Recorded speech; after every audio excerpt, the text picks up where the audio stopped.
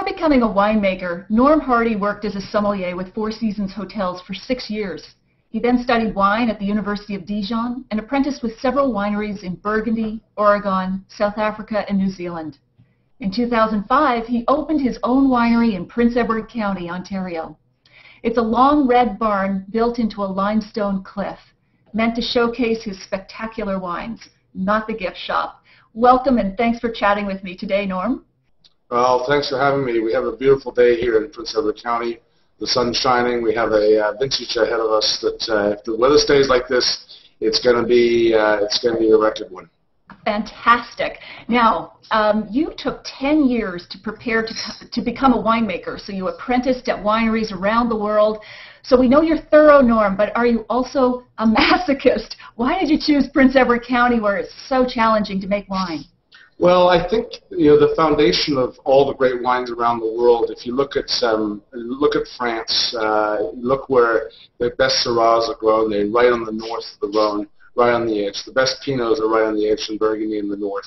Uh, then you go to Champagne, and that's just they can just go right there. And and I my my feeling is those best wines always been made on the edge, and uh, climatically we certainly are on the precipice here. Uh, but most importantly, uh, we have these incredible calcareous limestone soils uh, that uh, I searched the world for, and I found them 150 kilometers away from my starting point. Huh, that's great. And and is that part of what makes Prince Edward County different from, say, Niagara?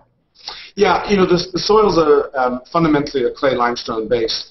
Uh, but it's um, it's the type of limestone that we have here. We have a very soft, shaly limestone that we see in Burgundy, uh, whereas Niagara's uh, foundational limestone is more dolomitic, uh, something that you see in the Dolomites in, in northern Italy. Um, and uh, you know, fundamentally, both clay limestone, but here we have the soft limestone, which uh, makes this place very, very special. Now, I've heard that, you know, soils make a difference. I mean, that's the big talk, terroir, to use the fancy term, in the wine world. But does limestone and the type of limestone that you're talking about really put some sort of taste into the wine, or is it just sort of a drainage issue that challenges the vines and makes them suffer, which in the end creates great wine?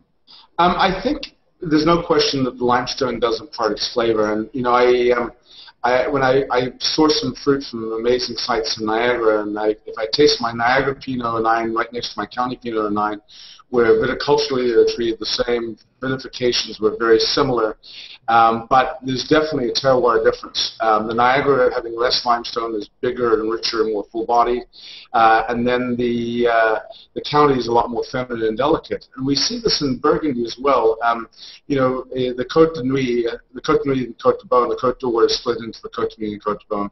Côte de Beaune has a lot more limestone, and the wines out of the Côte de Beaune tend to be more feminine and more delicate. And then you go further north, where climatically it's a little cooler, and you're expecting the wines to be not as uh, to be less opulent, and it's actually the soil that changes it. Uh, because in the Côte de Nuits, there's a lot less limestone and more clay, and then you get these bigger, richer flavors. Huh. And so is um, Prince Edward County also a lot colder than Niagara, like in terms of the growing season? How, how cold does it get up there with the winters? Um, you know, the winters are our biggest challenge, and why no one plants it in the county until, well, they planted 100 years ago and the vines died, and then uh, until the late 1990s, is that we do get minus 25 every winter. Uh, we don't have a body of water north of us uh, that is uh, that doesn't freeze. So when those Arctic blasts come from the north, but like Ottawa, you feel them. Um, whereas Niagara is, uh, is, is protected by the lake and uh, the lake doesn't freeze over, and uh, uh, we could have minus 31 here, and they could only have minus 22, minus 23 in Niagara. So you have to literally bury the vines or part of them in the winter. It's called hilling or something like that? Yeah, we essentially, um, uh, viticulturally, we cannot grow a, a trunk system. Um, so all our grapes uh, grow very close to the ground. We, we do it, it's almost like a bush vine pruning. And in the fall, we take some canes that are grown during the year and we tie them down to a wire um, on the ground, and then we cultivate the soils, and we literally put a, a big V-blade behind the tractor, and we tell the tractor driver to hit the gas like a New York cabbie would. Stay straight. And you watch the soil going up, and you think, how are those plants ever going to survive? And come the springtime when we when we bury when we unbury them, um, they look they look magnificent. Um, and you know the the idea is not a new one it's the challenge. You know, uh, people bury their roses, Now, when you've got 10 rose bushes, uh, that's one thing.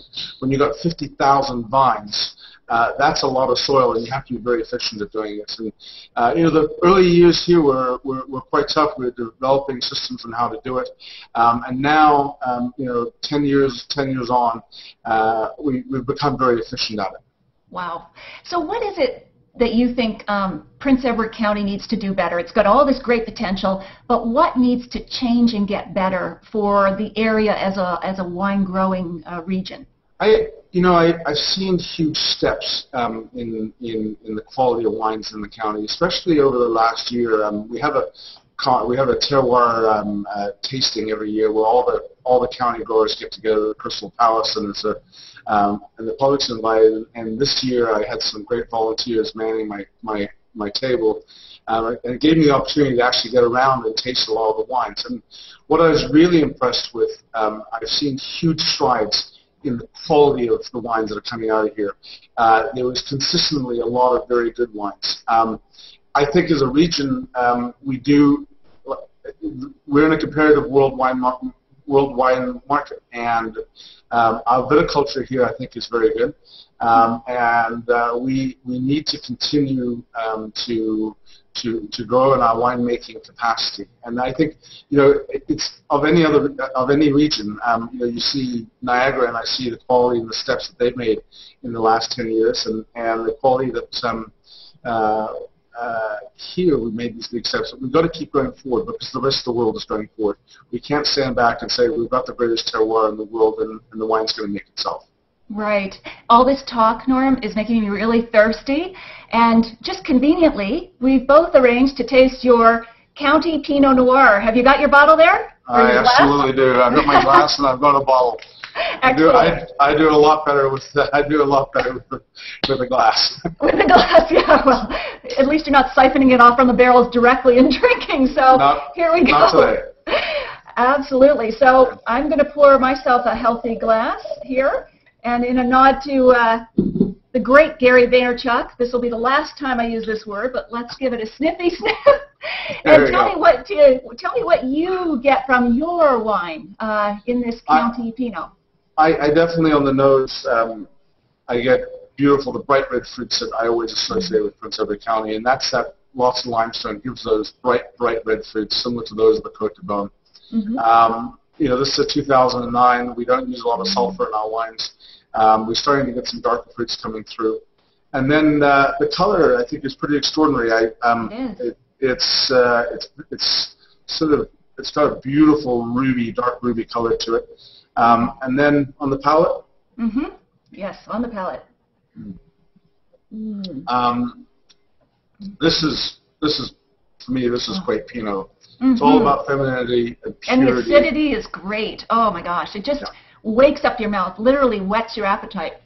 Well, this is you know this is I think um, uh, something we've lost in the, with drinking New World wines. And mm. and if you look at the great Old World wines, you know the great Syrahs, the great Pinots and Burgundy, um, they all have firm acidity, and acidity is the backbone, it's the structure, um, what focuses um, the brightness and, and, and, and palate very nicely. Right, and it really lifts the fruit. And I think a lot of people get afraid when they hear the word, oh, acidity, acid. I don't want to drink acid. But to me, acidity is to wine what salt is to, uh, to food. It brings forward flavor as well. Absolutely, and also, you know, the reality is most Pinots are, are, are, are drunk at, at the table when people are eating. Mm. And when you're eating, you have oils and things coating the sides of your mouth. And what you need is you need acidity to lift and cut through those. If, you have, if you're drinking wine that doesn't have acid, then the, the flavors of your food is, are, are not going to be as great. And secondly, you're going to fatigue of that wine very quickly because it's not livening your palate. Right. And uh, you know, acidity. You know, one of the great things we have here in the county is we get um, what I call physiological ripeness ahead of sugar ripeness. Um, in the new world, um, often they have to let let the vines hang for a long time to get uh, to get the flavors. But by leaving them out there, they're getting higher sugars and lower acids. Mm-hmm. Here, we harvest grapes at 22 Brix, and that probably doesn't mean a lot to many people, but um, we're harvesting wines at potential 11.5, 12% alcohol. And we have flavor at this standpoint. But, you know, the analogy I love to use is California strawberries are sweet Ontario strawberries are not as sweet, but they have acidity and they have flavor, and this is what we get out of these sorts. That is perfect, Norm. Thank you so much for uh, for chatting with me today. And um, you've done your job. You've made me very thirsty, so uh, this glass is not going to go to waste. Cheers. All right. It's afternoon somewhere in the world, and cheers, and, and thanks for having us. And hopefully, we'll see you and uh, all those listening today uh, in beautiful Prince Edward County this summer. Absolutely. Thanks, Norm. Take care. Bye bye.